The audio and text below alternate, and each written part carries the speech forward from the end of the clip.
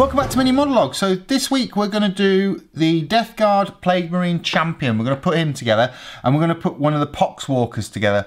Now earlier in the week I did a Death Guard focus where I looked at the actual stats for these as well as talked about who the Death Guard actually were. So if you want to see that, that should pop up in the corner in the middle in a minute. And also if you haven't seen the unboxing for First Strike, that'll pop up too. So do check those both out if you've not watched them already. Obviously we're on a 40k month, so we're doing a lot of 40k at the moment. Um, so in order to do this, obviously these are plastic ones, so you'll need a pair of plastic cutters. That's all you need for these because they're, they're easy to build models. Um, obviously these are from my Essential set. They're still going strong. Um, I've had a couple of questions about the Essential set um, recently about paints drying out. Now, if your paints have dried out and they're brand new out the box, take them back to Games Workshop, I'm sure they'll replace them. If you've had them a while, unfortunately, three mil plots do tend to do that if you've opened them. A couple of mine have done it. Um, and of course, by then I've already moved on to the larger pots that you can get from Games Workshop.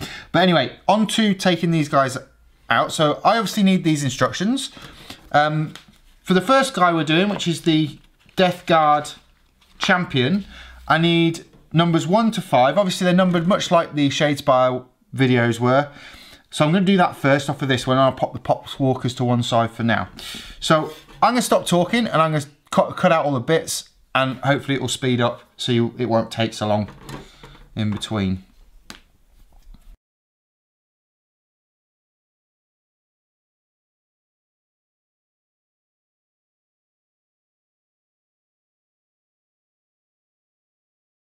Hopefully you're still with me. So the first thing to do is take this part of the model here and put this bit, which is his face, onto there. And obviously that just pushes together like so. And that actually went together really well. You can't see any any kind of lines or anything, which is really good. Obviously, when you cut this one out, make sure you leave these two arm sticks on. I left mine on make sure you do, because um, otherwise you won't be able to get the arms on. The next section to put together is actually the two arms. Um, he has a sort of power fist in one hand, which goes there, I believe. If I can get that on. Okay, this is interesting.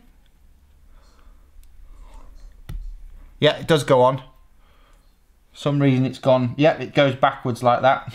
don't know why it goes backwards like that, but I don't know if you can spin it at all. Oh, you can spin it a little bit. I can only spin it up to about there. So I'm going to put his arm like that. And then his other arm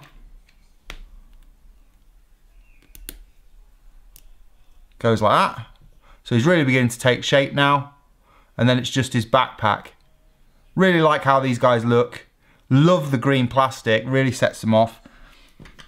And then the backpack goes on. Oh, might help if I get it the right way around. On there, like that. Obviously make sure all of the components are solidly put together, but that is the Death Guard Marine. He goes on a 32mm base, which I'll do in a minute, but I'll move on to the Poxwalker now. But that's the Death Guard Marine Champion. So let's get straight on with the Poxwalker. Um, for the Poxwalker, I need numbers, I need the other sprue, which is this one. So I need this sprue here, if I can get it to, yep, this one. And I need numbers 9, 10 and 11. So I just need to work that out and I'll chop those out next.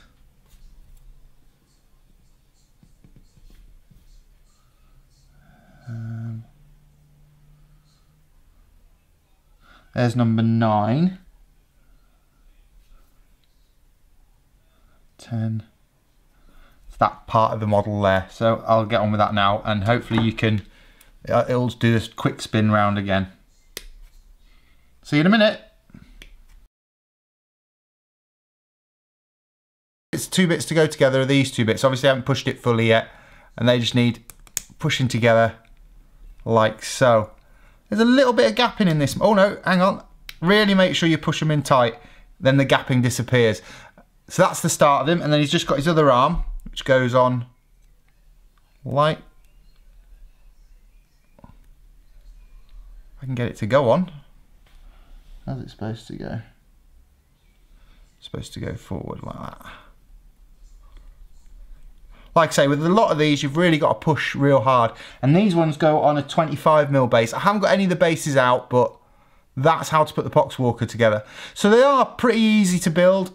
Um, be careful cutting them out so you don't cut off pegs that you might need because that's the only thing I've noticed is that there are pegs on a lot of these models which are quite long. So make sure that you don't chop them off by mistake, otherwise you'll have to get the glue out and glue them together.